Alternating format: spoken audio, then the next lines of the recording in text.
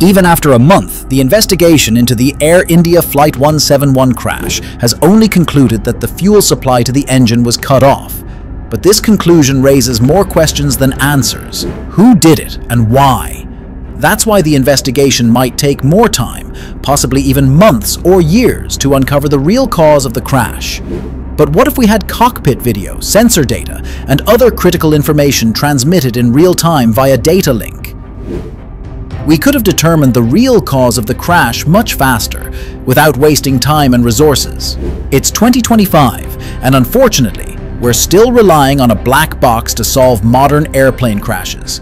Why is that? We've got Netflix streaming 4K in the sky, but somehow we still can't stream real-time cockpit data?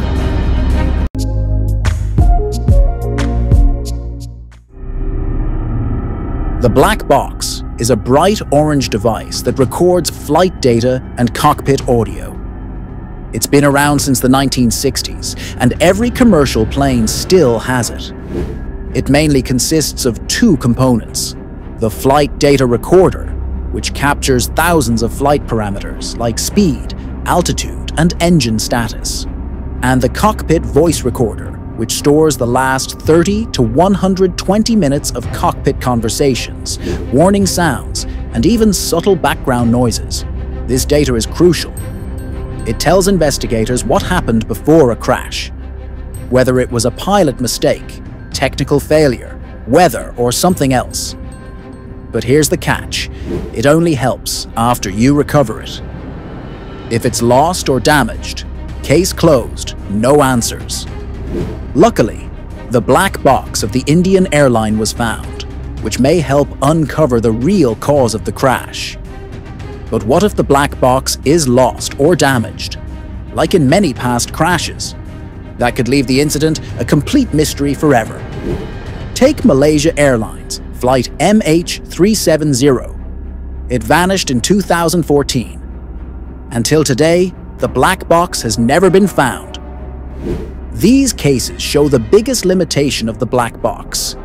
If you can't find it, you can't solve it.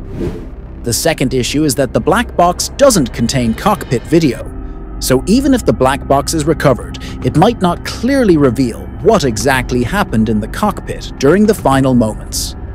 This leaves many questions unanswered, even after decoding, like in the case of the Air India crash, where it's still unclear who cut off the engine's fuel supply. So technically it is possible to record cockpit video and store it in the black box. Many military aircraft often have video recording for mission review, but in commercial plane, it is still extremely rare or non-existent. The biggest reason that commercial planes don't have cockpit video recording is resistance from pilot unions and aviation groups. They fear it could be misused for surveillance or blame, rather than just for accident investigation. They argue that voice and flight data are enough for investigations. So now, let's discuss the main question. Why don't commercial planes transmit cockpit audio, sensor data, and other critical information in real time?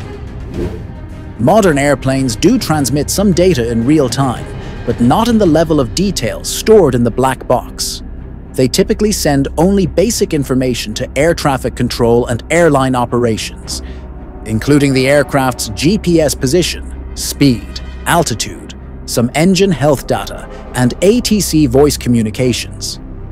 This data is very light, just a few kilobytes per second, similar to sending a WhatsApp message. However, transmitting full black box data in real time can exceed 100 kilobytes per second per aircraft. Sending such data is considered costly, especially since airplanes often fly over remote ocean areas where other communication sources are unavailable, meaning the data must be transmitted via satellites. At any given moment, there are around 12,000 planes flying globally.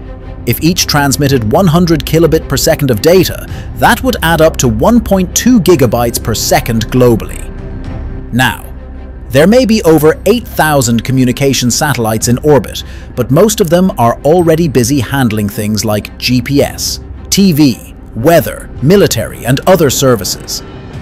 Adding 1.2 gigabytes of extra data per second might not sound like a lot, just about 1.5 kilobit per second per satellite, but it can still cause problems. Satellites can get overloaded, and in remote areas like oceans, the signal is already weak or sometimes not available at all. To handle non-stop plane data properly, we'd need to rearrange or even add more satellites to make sure there's strong and stable coverage wherever planes fly. Besides bandwidth, cost is another major hurdle. Aircraft would need specialized hardware costing over $10,000 per plane, along with monthly data subscriptions ranging from $500 to $1,500 for real-time transmission at 100 kilobit per second. Many pilots and airlines are hesitant to adopt real-time monitoring due to concerns about being constantly watched or recorded. Finally, most planes flying today are decades old, and many lack the infrastructure to support this kind of data transmission without major upgrades. In short, there are many challenges with constant real-time data transmission. So what if, instead of streaming data all the time, it's only sent during an emergency? This is known as Smart Emergency Streaming. The idea is simple the system activates high data transmission only when something goes wrong, like engine failure, rapid altitude drop, or a fire warning. In such cases, only a few megabytes of critical data need to be sent. That's extremely low, right? This is a practical solution that could be widely adopted in the future.